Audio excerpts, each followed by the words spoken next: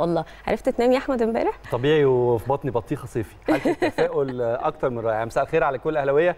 مباراة في غاية الأهمية. ويمكن مش هبالغ لو قلت إنه ماتش الأهلي والوداد النهارده ممكن يكون الأهم وممكن يكون الأصعب وممكن يكون الأكثر حسما في مشوار دوري الأبطال. حلم النجمة التاسعة يتحقق منه بنسبة 60 ل 70 وكمان لو عايز تقول 80% من المشوار النهارده في المغرب. نجاح الأهلي في تحقيق نتيجة إيجابية يسهل بشكل كبير جدا ويقرب دوري أبطال أفريقيا من الجزيرة. المباراتين اللي جايين إن شاء الله هيقاموا على أرض مصر. وصعب قوي ان البطولة تبقى على أرض مصر وتبقى بعيد عن دولاب بطولات الأهلي. مساء الخير على حضراتكم مساء الخير والتفاؤل لأن الحقيقة بيتهيألي إنه 99% من جماهير النادي الأهلي معنوياتها في السماء والأبطال النادي الأهلي بنقول إنه مفيش حد لاعب كورة مفيش حد لمس كورة مفيش حد شاف في نفسه الموهبة.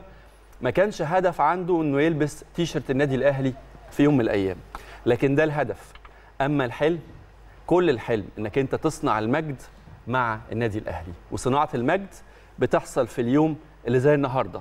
خطوة مهمة جدا في مشوار كل لاعب بطولة مهمة جدا هتضاف لرصيد كل لاعب في حالة قدرتنا على تحقيق الحلم. بتلعبوا النهارده وانتوا شايلين آمال وأحلام وطموحات أكتر من 80 مليون أهلاوي واقفين في ظهركم وبيساندوكم حتى ولو ما كانوش موجودين معاكم في الملعب. كل التوفيق لفرقة النادي الأهلي. وأحب أطمن جماهيرنا لأنه في الساعات الأخيرة في كلام كتير جدا عن كلام ليس له أي أساس من الصحة إنه في بعض اللعيبة ممكن يكون في إصابات كورونا أو يعني لا قدر الله طبعا ده اللي نتمناهوش لكن الأخبار المؤكدة إنه إحنا الحمد لله فرقتنا سليمة جدا ومن أول لحظة وصلنا فيها المغرب الفريق معاه فرقة النادي الأهلي معاه فريق تعقيم متكامل بيعقم الأتوبيسات اللي بينتقل فيها اللعيبة بيعقم غرف الملابس الخاصة باللعيبة كل مكان بيدخل النادي الأهلي بيسبقوا ليه فرقة تعقيم للاطمئنان وعلى سلامة اللعيبة.